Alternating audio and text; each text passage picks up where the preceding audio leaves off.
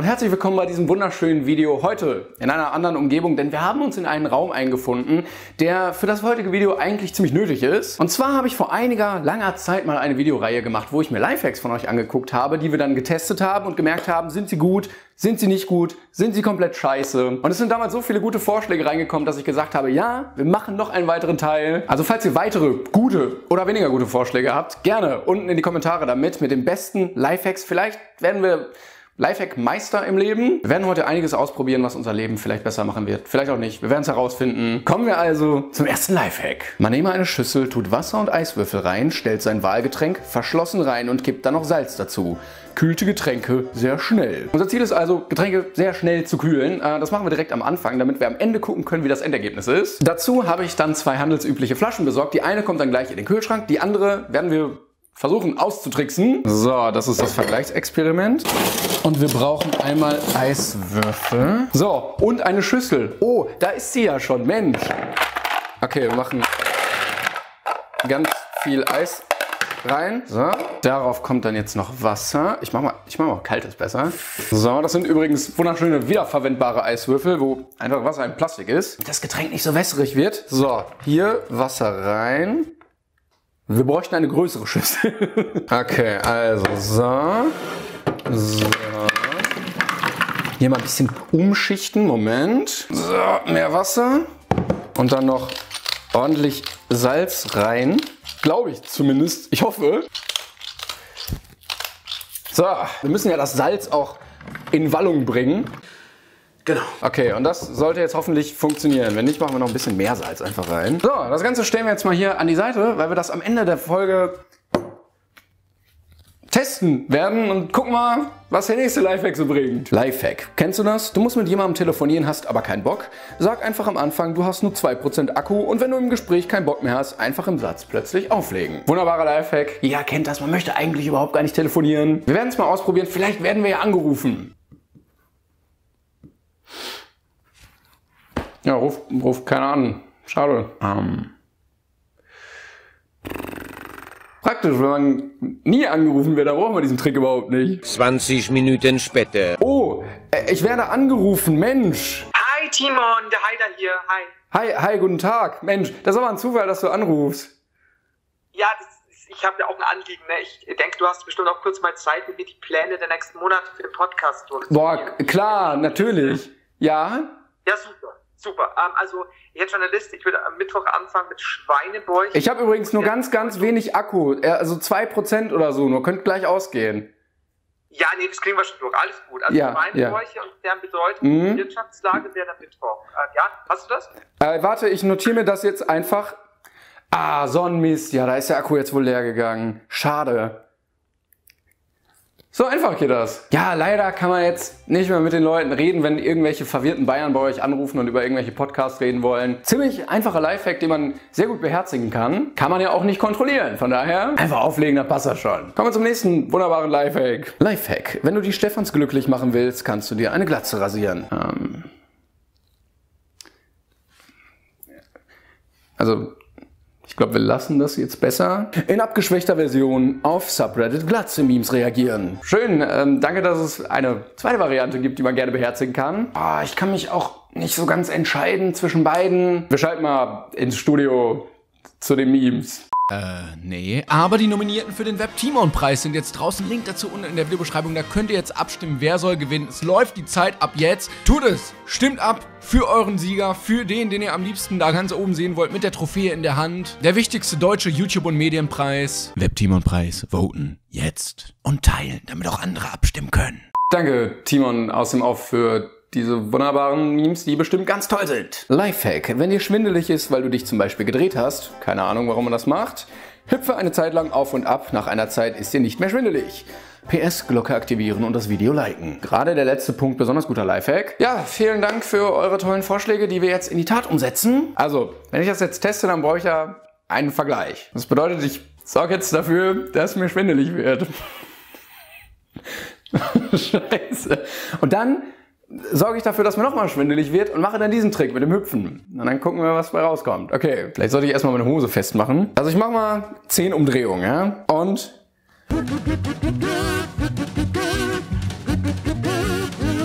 Zehn.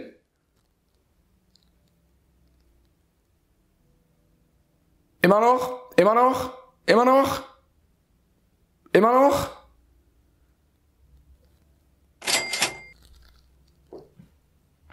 Geht. Geht. Ist okay. Okay, alles klar. Wir haben einen ersten Wert, an dem wir uns orientieren können. Jetzt tun wir das gleiche nochmal. Okay, und danach auf und abspringen und dann verschwindet hoffentlich das Geschwindig Geschwindigkeitsgefühl. Ich hoffe es, weil ich möchte das nicht nochmal machen. Los. Zehn.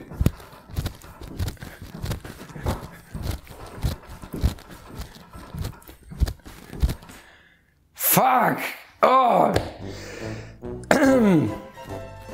Mir ist immer noch schwindelig. Das, äh. äh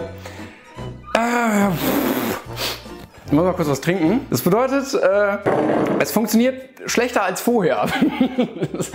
Macht das nicht. Warum sollte ich das tun? Ja, nochmal zur Erklärung, das kann man auch nur in der Küche machen, am besten in einer gesicherten Umgebung. Schade, jetzt wissen wir, sich ganz schnell drehen und dann hüpfen bringt überhaupt nichts gegen den Schwindel. Ja, ähm, Wer hat den Lifehack geschickt? YVN 3.0. Ja, war ein richtig beschissener Lifehack. Aber gut, äh, macht wenigstens das mit der Glocke oder so. Wenn du zu viel Bier getrunken hast, aber keinen Kater haben willst, schütt einfach ein bisschen Limo hinterher, dann wird das im Bauch zu Radler und Radler ist kein Alkohol. Krass, ich wusste gar nicht, dass meine ganzen Abonnenten alle Alkoholiker sind. Vielen Dank, Eimer Stampel.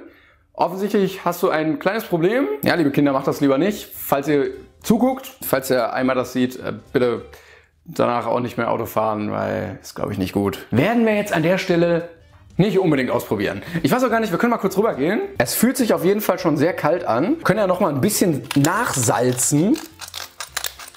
Weil ich weiß nicht, wie viel Salz wirklich hier rein muss. So, wunderbar.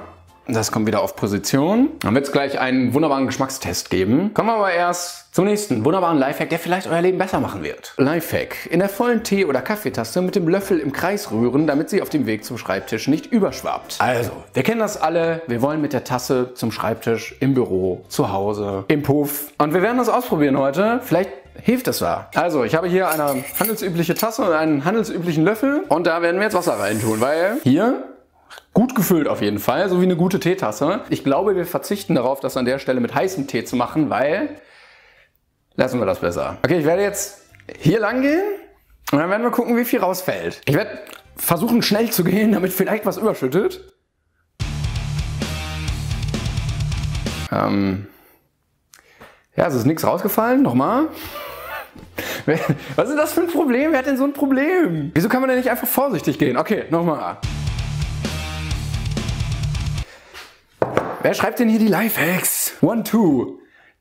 Dein Problem ist scheiße. Wir probieren das Ganze mal mit Laufen und Rühren jetzt. These. Es wird noch mehr verschüttet als vorher. So, und...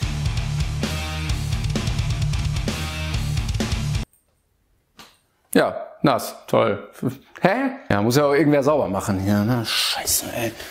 Ein ganz beschissener Lifehack. Also, in der Theorie relativ clever, weil durch die Zentrifugalkraft das Wasser ja nach außen gedrückt wird, dadurch in der Tasse bleibt. In der Praxis ziemlich beschissen, weil es überhaupt nicht funktioniert und das Problem eigentlich gar nicht da ist. Falls Leute an der Stelle Probleme haben mit ihrer Tasse beim Laufen, das relativ auf was rausschüttet, geht zum Arzt besser, als ständig umzurühren. Ich glaube, ihr habt motorisch-sensorische Probleme. Da kann ich nicht helfen. Der nächste Lifehack ist ein Zwiebel-Lifehack und wir hatten schon wunderschöne Zwiebel-Lifehacks hier in dieser Videoreihe. Man kennt das Problem, dass man sehr häufig beim Zwiebelschneiden weinen muss. Doch das muss nicht sein. Man nehme die Zwiebel, schäle sie ab und bevor man diese schneidet, unter kaltes Wasser abwaschen und etwas drücken, damit der Zwiebelsaft, der überflüssig ist, rausläuft.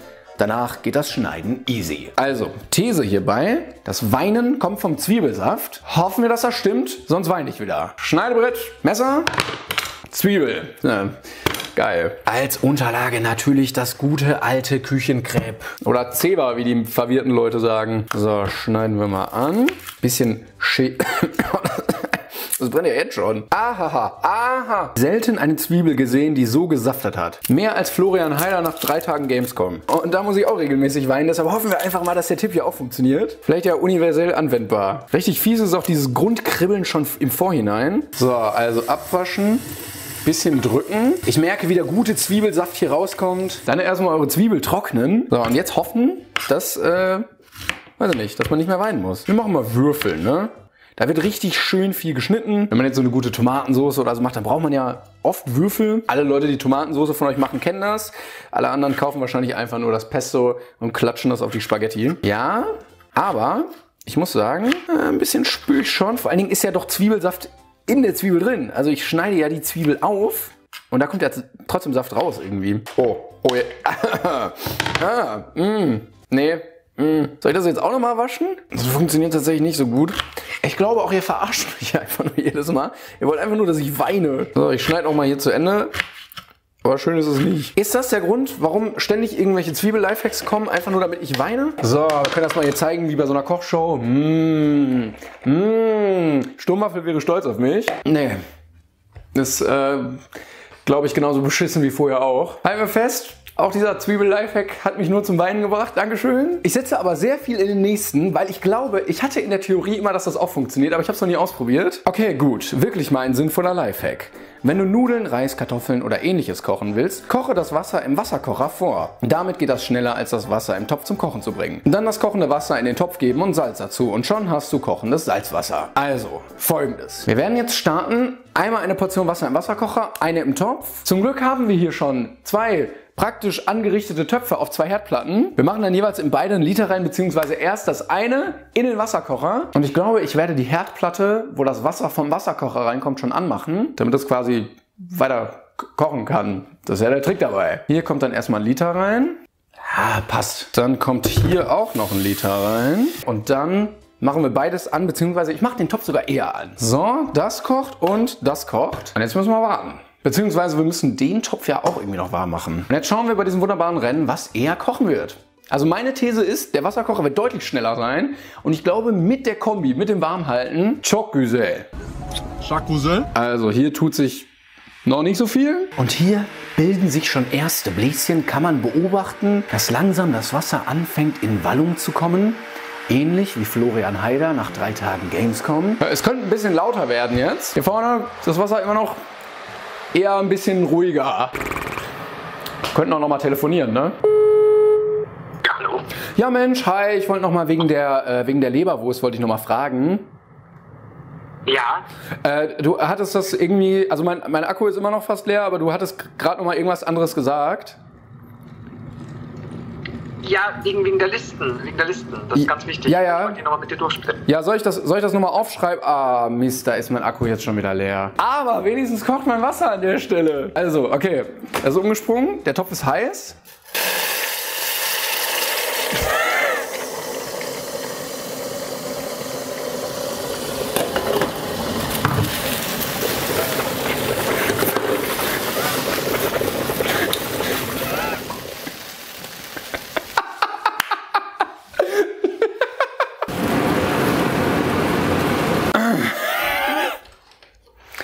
Telefoniert, vergisst man die Zeit. Ich glaube, wir haben ein eindeutiges Ergebnis, was schneller geht. Vielleicht Tipp an euch da draußen, einfach nicht die Herdplatte anmachen.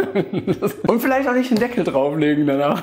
Ja, ich habe irgendwie die physikalischen Eigenschaften des Wassers nicht ganz bedacht. Aber, also, es dampft immer noch. Hier ist eher so ein ja, da kann man auch baden. Aber hey, es hat funktioniert. Ein sehr schönes Experiment. Endlich weiß ich, dass es auch funktioniert. Stellt euch nur nicht so doof an wie ich, dann werdet ihr auf jeden Fall schneller kochendes Wasser haben und eure ganze Herdplatte wird nicht voller verbranntem Wasser sein. Verbranntes Wasser auch nur Dampf. So, kommen wir jetzt aber zum abschließenden großen Experiment äh, dieses Videos. Wasser aus dem Kühlschrank versus Wasser aus Eisschale mit Salz. Was ist kühler und was ist dafür besser geeignet als ein wunderbarer Test? Ein Test, der beweisen wird, welche Flüssigkeit kühler ist von der Temperatur her. Nämlich eine Blindverkostung. Ich werde zwei Gläser bekommen mit Wasser aus den jeweiligen Flaschen und muss dann sagen, welches welches ist, ohne dass ich es weiß. Ich hoffe, das funktioniert.